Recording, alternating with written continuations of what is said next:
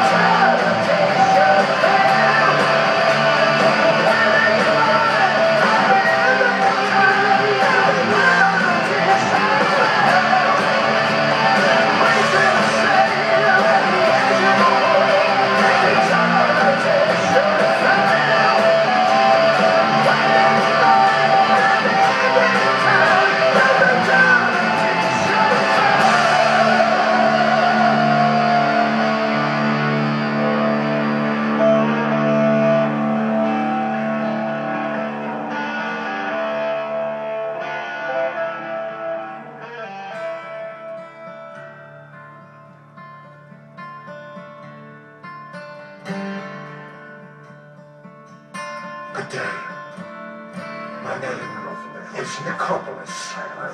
I'm formed of the dead. I am the harvester of the soul. And I suck the lives from around my dead. My only two sons, I gave them breath, and I filled their living corpses with my bile. What humanity I knew, I am long forgotten. For me, eternity is nothing but a short while.